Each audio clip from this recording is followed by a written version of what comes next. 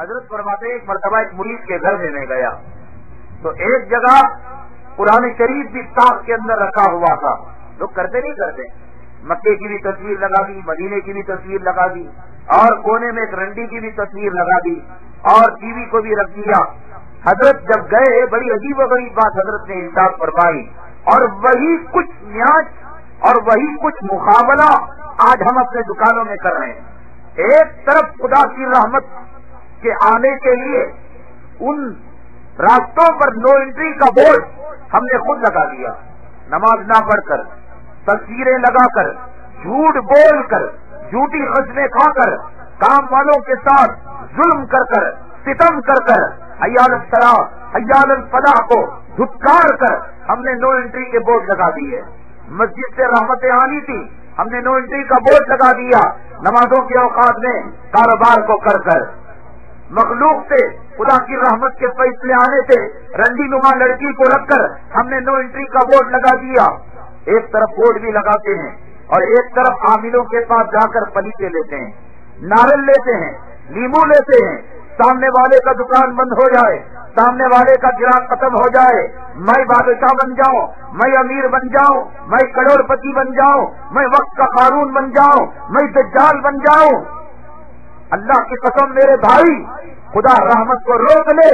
किसी आमिल का तावीज किसी आमिल का पलीता नारेल बंदिश खुदा की रहमत को मुतवजह नहीं कर सकती, नहीं कर सकती। ये लिख कर रख ले। दुनिया भर के आमिलों के पास चला जा। दुनिया भर के तावीज पलीते ले ले। खुदा की रहमत का मुकाबला दुनिया की कोई तावीज नहीं कर सकती। मैं तुझे आप बताता हूँ। आ मैं तुझे बताता हूँ। ना किसी गद्दा नशीन की ज़रूरत, न किसी पीरो मुर्शद की ज़रूरत, न किसी आमिर की ज़रूरत, न किसी सिक्की और ओलवी आमिर की ज़रूरत। हाँ मैं तुझे बताता हूँ, अल्लाह के हबीब पाक सल्लल्लाहु अलैहि वसल्लम, दुनिया में कौन खुसर, कौन बेटी का बाप अपनी बेटी की ज़िंदगी को बर्बाद होते हुए देखना चाहता है? दुनिया में कौन सी बेटी का बाप अपनी बेटी की खुशहाली को देखना नहीं चाहता?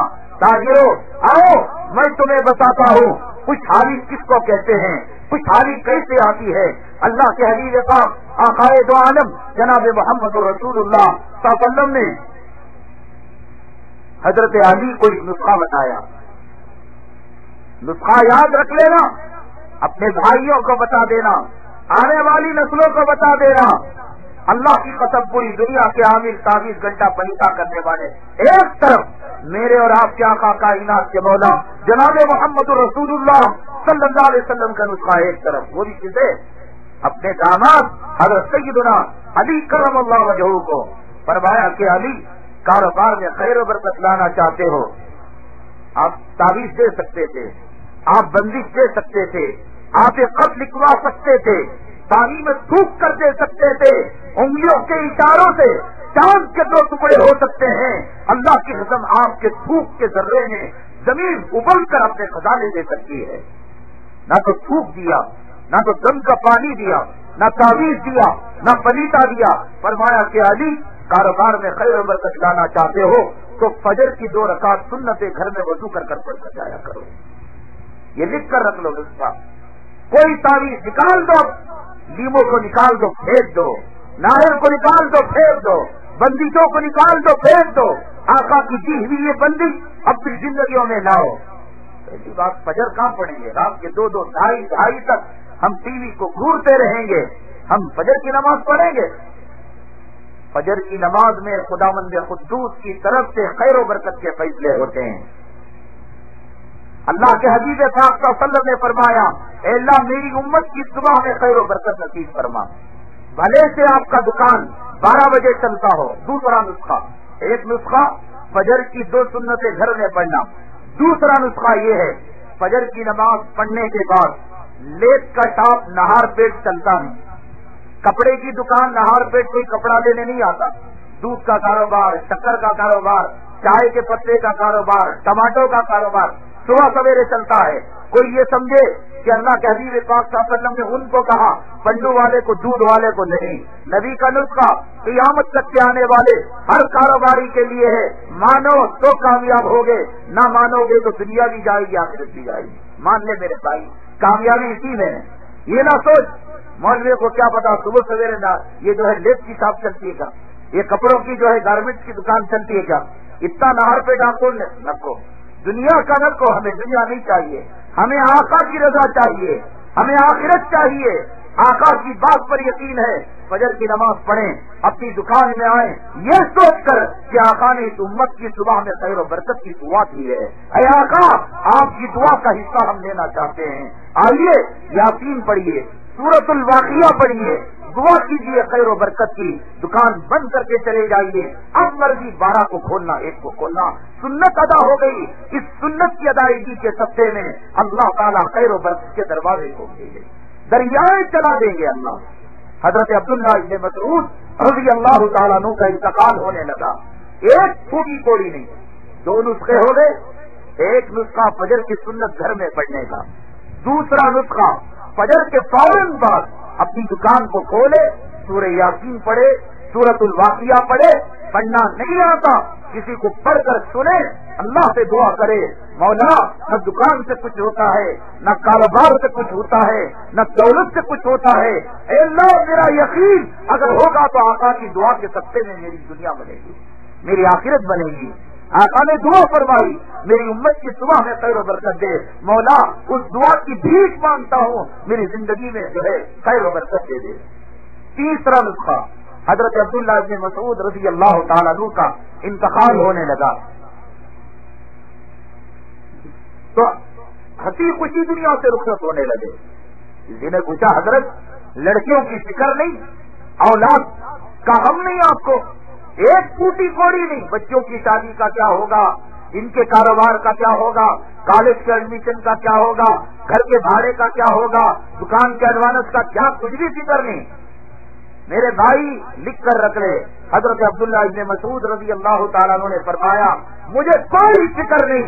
आराम से तो आराम से जाऊँगा। मैंने अपनी औलाद को सूर्य बाकिया सिखा दिया है। जब तक पढ़ते रहेंगे फक्र फाका उनके करीब से भी नहीं भटकेगा। सूर्य वाकिया की तिलावत, सुबह में एक मरतबा, शाम में एक मरतबा करे, अल्लाह की कसम कभी गरीबी आपकी ज़िंदगी में नहीं आ सकती। माने, नबी के इस नुस्खे को माने, तुमने कैनरा बैंक को माना, तुमने रिज़र्व बैंक को माना, तुम लोन पर ईमान लाए हो, सूद पर ईमान लाए हो। हज़रत अब्दुल्ला इब्ने मसूद रज़ी अल्लाह तु के इस तजुर्बे के ऊपर अमल कर कर देखें आप। तीन नुस्खे हुए। चौथा नुस्खा बताओ जब आते हैं आप नाश्ता कर कर दुकान में तो ज़ाहिर सी बात है, कोई आदमी नाश्ता ऐसे ही गंदे मुँह से नहीं कर लेता। संजा करता है, मुँह हाथ धोता है। जो मुँह हाथ धोता है, वो वज़ू कर ले। वज़ू कर लेने के बाद घर की अम्मी जान, बेगम साहिबा, बहन साहिबा, दस्तरखान ऐसे ही नहीं लग जाएगा। कि यहाँ जो है बटन दबाया दस्तर लग गया। रोटी के पकने में वक्त लगेगा सालन के गर्म होने में वक्त लगेगा। दस्तरखान के बिचने तक मुँह धोना था, वज़ू कर लिया।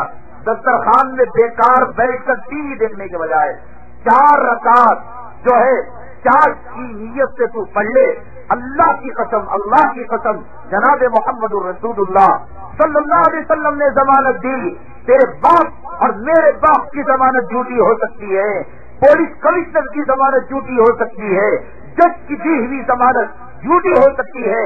आका ने फरमाया, दिन के शुरू हिस्से में जिसने चार रकात, चार की नमाज़ पढ़ ली, अल्लाह फरमाते हैं, बंदे, तू मेरा हो गया, अब तेरी जरूरतों को पूरा करना मेरे जिम्मे हो गया।